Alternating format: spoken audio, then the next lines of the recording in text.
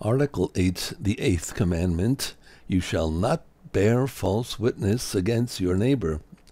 It was said to the men of old, You shall not swear falsely, but shall perform to the Lord what you have sworn. 2464. The eighth commandment forbids misrepresenting the truth in our relations with others.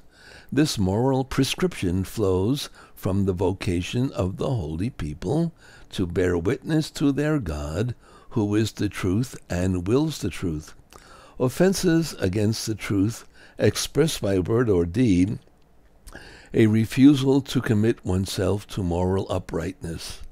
They are fundamental infidelities to God, and in this sense they undermine the foundations of the covenant.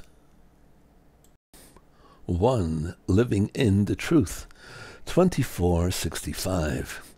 The Old Testament attests that God is the source of all truth. His word is truth. His law is truth. His faithfulness endures to all generations. Since God is true, the members of his people are called to live in the truth. 2466. In Jesus Christ, the whole of God's truth has been manifest.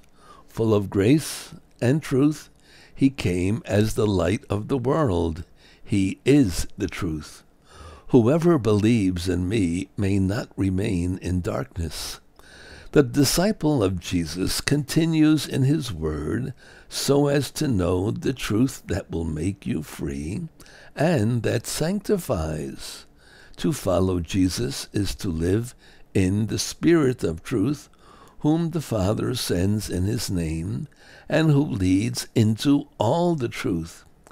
To his disciples, Jesus teaches the unconditional love of truth. Let what you say be simply yes or no.